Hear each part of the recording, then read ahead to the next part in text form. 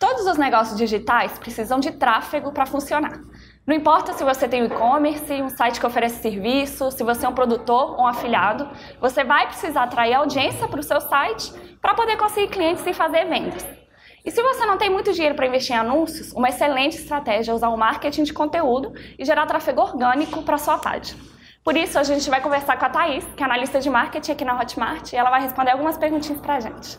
Tudo bem, Thaís? Tudo jóia.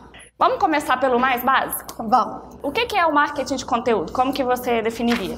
Marketing de conteúdo são estratégias de marketing que são baseadas em criação, desenvolvimento de conteúdo, que pode ser conteúdo em blog, conteúdo em vídeo, diversos formatos, mas que esse conteúdo gere realmente algum valor para quem está lendo ele. Uhum. Não é só propaganda. Não né? é só propaganda. Entendi. Tem que realmente é, levar alguma informação, que seja um conteúdo educacional, mas que gere valor para quem, para o leitor, né? Tá, e vamos supor que você falou, ah, vou fazer marketing de conteúdo. O que, que você faz primeiro, assim, como que começa? Tá. Vamos supor então que você tem uma, uma floricultura. Uhum. Você tem uma floricultura lá no seu bairro e você já tem alguns clientes e tal, mas você quer aumentar o número de clientes, né, que você já tem. Então o que, que você pode fazer? Você pode criar um blog, você pode criar um canal no YouTube, você pode ter uma conta no Instagram, por exemplo, e dentro desses canais você vai começar a gerar conteúdo que faça sentido, que sejam conteúdos informacionais a respeito daquele seu universo. Então, por exemplo, você que tem uma floricultura, você pode criar um blog que vai ensinar como criar melhor suas plantas. Como criar plantas em apartamento? É, quais são as melhores plantas para o inverno, sabe? Uhum.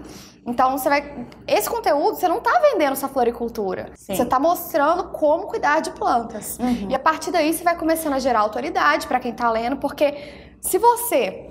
Se eu, por exemplo, estou procurando um conteúdo é, lá na internet, fui lá no Google e busquei como criar não sei, alface, como criar uma horta. E eu acho o seu blog, você vai ser uma autoridade para mim a respeito daquele tema. E a próxima vez que eu quiser buscar um outro tema, como, sei lá, qual a melhor época de plantar morango? Aí eu vou lá no seu blog. Provavelmente eu vou lembrar, poxa, a Ana tem um blog que fala sobre plantas, eu vou lá porque eu sei que ela tem informação interessante para mim. Legal. E vamos supor, você é a dona da floricultura. É você que vai criar esse conteúdo?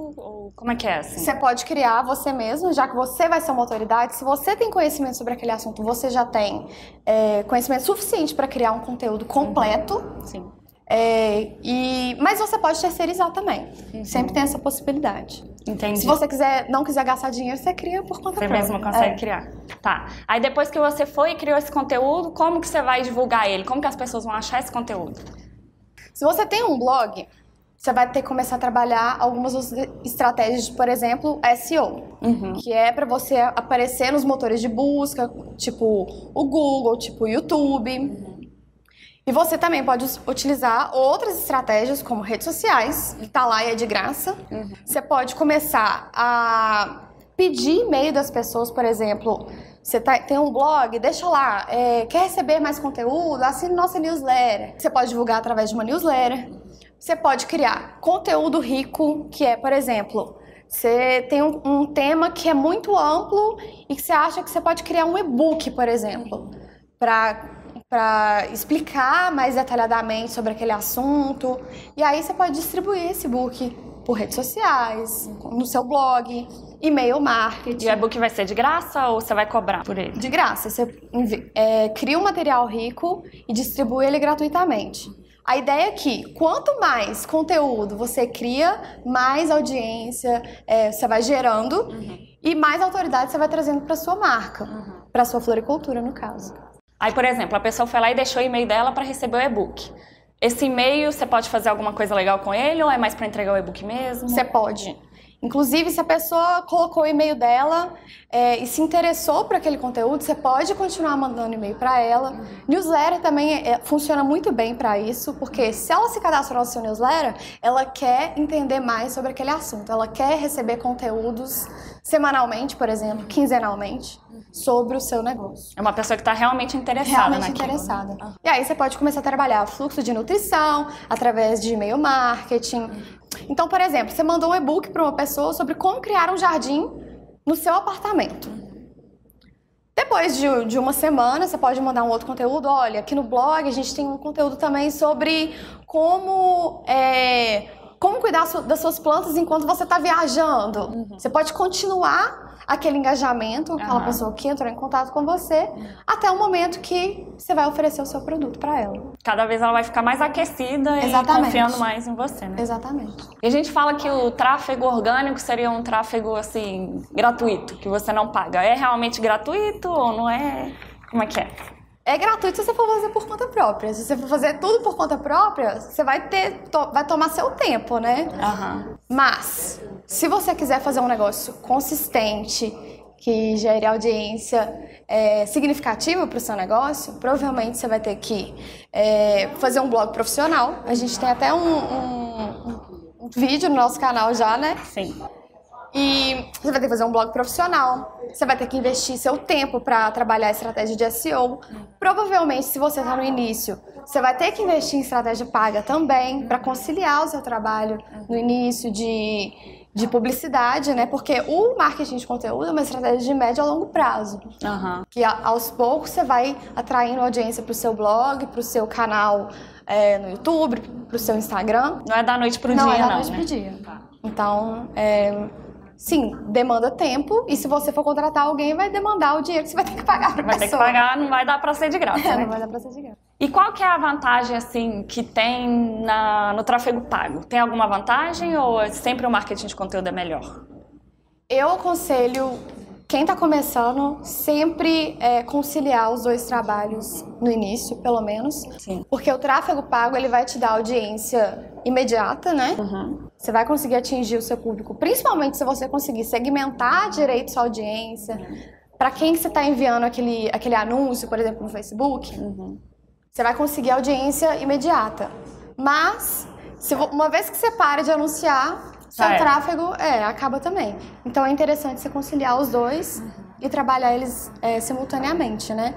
Para que daqui a um tempo o seu blog, seus canais de conteúdo orgânico comecem a atrair audiência, né? Que vai ser uma coisa mais natural, que as pessoas vão atrás de você, né?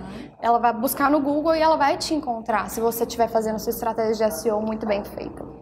Aí vamos supor que você criou esse blog sobre horta em casa, por exemplo, e você já tem uma audiência legal, sua página está aparecendo na primeira página do Google quando a pessoa digita alguma palavra-chave lá. Aí pronto, o trabalho está feito, tipo, Não conseguiu para sempre ou tem que fazer Não. alguma coisa? Tem que fazer sempre. É um trabalho contínuo uhum. e não significa que porque você atingir o primeiro lugar do Google, você vai estar lá daqui a um ano. Você Entendi. tem que sempre monitorar a concorrência, você tem que cuidar muito bem da sua, da, do seu canal internamente. Uhum. Então, por exemplo, num blog a gente chama de on-page, né, que é o SEO on-page. Tem que cuidar muito bem de é, linkagem interna, se você está fazendo a pessoa continuar no seu blog, uhum. manter contato com o seu conteúdo. É, criação de material rico é muito interessante, que é o que a gente já falou sobre e-book. Depois, depois que você finalizou um, um conteúdo, coloca lá, é, quer saber mais sobre isso? É, visite tal post, outro conteúdo. Tem que levar a pessoa a algum lugar, Exatamente. né? Fazer alguma coisa. O interessante é que a pessoa continue em contato com você. Entendi. Legal. E quais ferramentas, assim, que as pessoas que trabalham com marketing de conteúdo geralmente usam para poder, tanto para criar os conteúdos, quanto para ir fazendo esse monitoramento que uhum. você falou? Tem algumas ferramentas gratuitas que podem ajudar muito, principalmente quem não tem muito dinheiro para começar nesse início. A própria busca do Google, quando você começa a digitar, por exemplo, como criar um jardim, ele já vai te dar algumas ah, opções né, automáticas lá do que, que as pessoas buscam mais.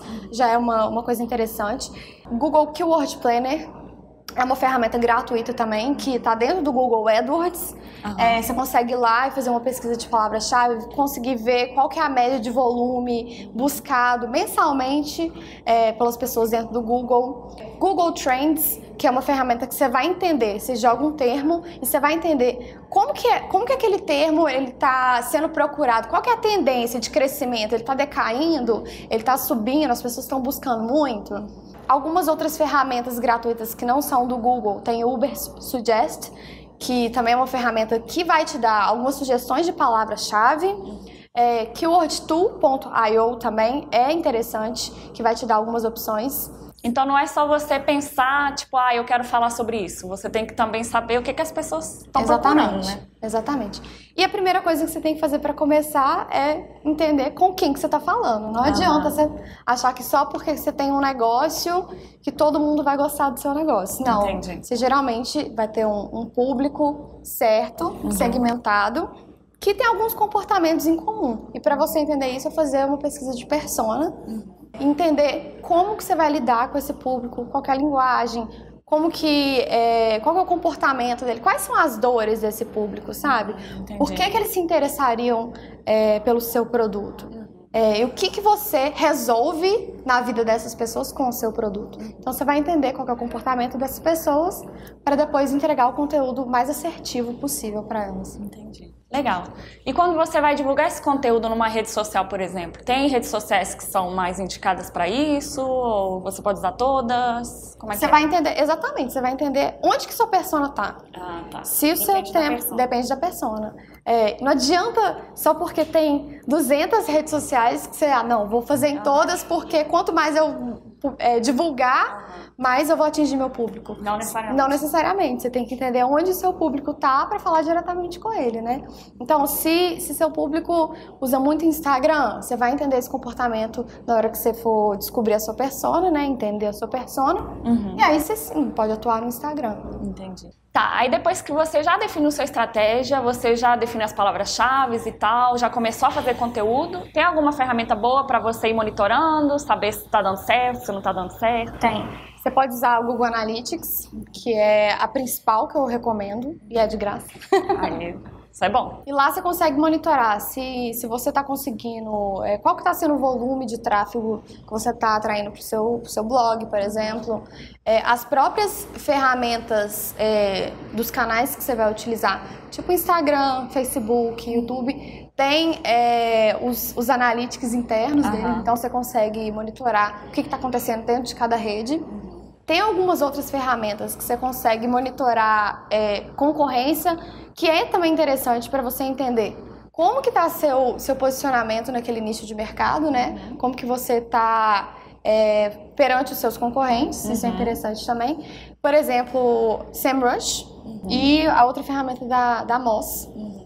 É, tem uma outra do Google também que é interessante, que é o Search Console, que é lá você vai entender quais são as palavras-chave que estão levando para aquele determinado conteúdo que eu criei. Ah, tá. Então lá você consegue entender o que, que, o que, as, pessoas que as pessoas estão procurando. Exatamente, o que, que as pessoas estão procurando, digitando no Google uhum. para encontrar aquele conteúdo seu. É uma ferramenta ah, muito interessante também. E essas ferramentas são gratuitas, são pagas? São gratuitas. A Moz e a SEMrush, a ferramenta da SEMrush, tem a versão é, gratuita, uhum. mas que são um pouco limitadas. Entendi. Mas elas têm a, a, versão paga que eu aconselho, pelo menos do, do SEMrush, se você já tiver uma verba ali, que é uhum. muito interessante. Vale vai, te pena, dar, né? é, vai te dar informações muito preciosas para o seu negócio. Legal.